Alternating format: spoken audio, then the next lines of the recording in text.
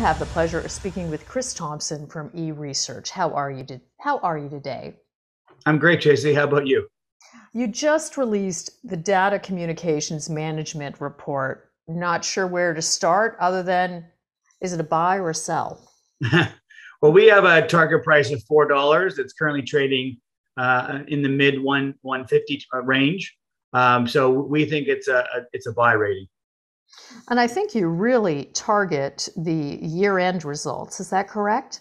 Yeah, the report that we just released was their year end financials um, for the company. Um, things are very positive. Uh, they're a, a, a, company that focuses on uh, doing print technology for companies. Things have been a little slow because of COVID, um, but they their Q4 came in strong, and it looks like the, the start of the year is going to be strong. They just actually pre-released their Q1 numbers, uh, and they were ahead of the, my modeling. I modeled about 64 million, and they came in at about 69 million. So it seems that things are are turning around for the company. Okay, so if I understand you properly, your buy rating is close to four times what they're currently trading at. Yeah, it's about it's a little more than three times what they're they're trading at right now, and yeah, the company is basically uh, it, it's trading at a low multiple because people still think it's a sort of a printing company, but they really have a lot of digital technology that they're selling into their their large client base. Uh, they have over 2,000 you know customers plus you know a sort of 200 really top tier customers, and it's their digital transformation that's sort of going to move this company forward, which should garner a higher multiple uh, moving forward.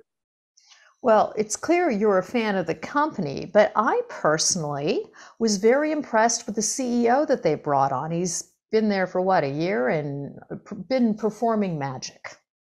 Yeah, uh, the new CEO came on about a year ago and started to spearhead uh, this digital uh, technology transformation, and so and and also pay down debt. They've got some good cash flow.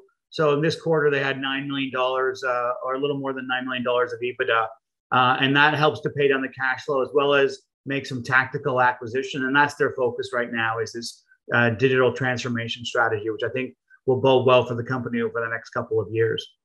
Well, Chris, we want people to read and actually do their own due diligence on whether or not they should buy a stock or learn more about it and follow it for a while. So they can go where? eresearch.com to get a copy of your report?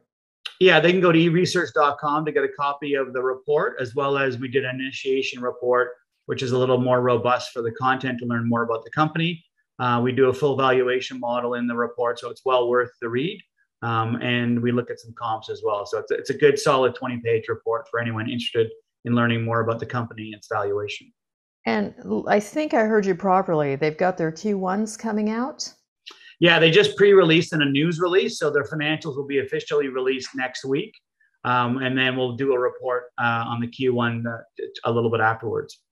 So, for those of you out there already following data communications or interested in learning more, again, go to eResearch or go to Data Communications website.